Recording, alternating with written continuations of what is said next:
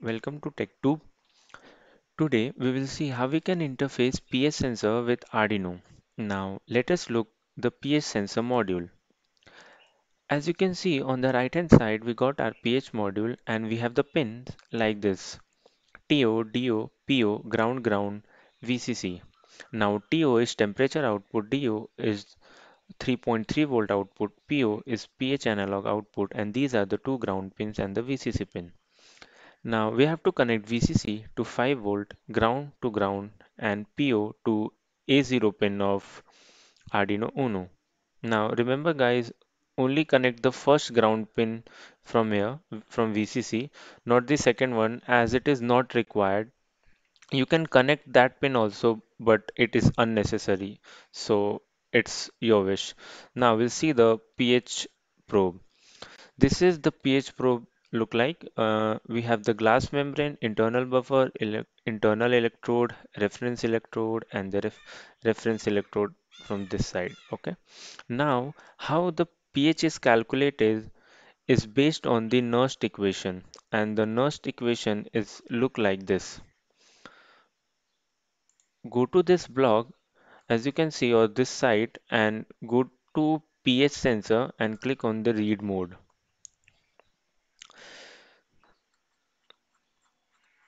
See, the Nernst equation look like this. E is equal to E0 minus 2.3 RT upon NF ln of Q and you can find the parameters over here. Now we'll see the hardware. So this is how pH module look like. I have got here as you can see PH4502C. Now these are the pins of pH module as you can see. And we have got one BNC connector BNC interface. And we have pins like this. We have TO TO is temperature output. We got DO DO is for 3.3 volt output. Then PO PO is pH analog output. And we got two ground pins and one VCC pin. And as you can see these are two variable port one this variable port is for analog reading offset and this variable port is for pH limit setting. Now as you can see this is nothing but temperature compensation and these are four mounting holes. So this is how the pH module look like and here we'll connect the pH probe I will show you how pH probe look. So this is the pH probe and it's stored in electrode storage bottle. I will show you how it look like. Let me open this.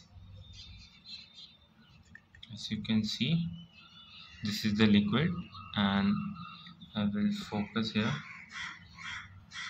As you can see this is the glass and we have to store the pH in the storage electrode storage bottle only to get the perfect reading. Otherwise it will it will affect the readings and we'll connect the BNC cable as you can see probe like this. Now we are ready to go. The hardware the first thing you should do is to calibrate your pH sensor and how you can do that by adding this pH buffer powder. We all know that as the temperature varies, the pH varies, right? So how you can do that? First take 20 250 milliliter of water, right? And add this 250 milliliter solution powder in that. Now suppose the temperature of water is 30 degrees Celsius. So after adding pH 6.86 at 30 degrees Celsius of water, you should get the result around 6.85. You can do the same thing in the code and I will show you how to do that in the code. First, you have to understand this. Let's go to our whiteboard. Now suppose we have a solution whose pH is 7, right? whose pH is 7 and now when the electrode is dipped in the reference solution I, as I have shown you uh, we have got one probe and the in the lower part of the probe we got the electrode storage bottle right? When you upload this code first you'll get some initial pH right? Suppose that pH is 6.5 right? Now what you have to do you have to subtract these two value and you'll get 0.5 now in the code as you can see at line number 7 float calibration value is 21.34 but this is not what we want okay? So what you have to do you have to calibrate it by adding 21.34 plus this result okay? 0.5 now after adding this you will get 21.84 right? So now you have to write 21.84 now we'll upload this code. Okay.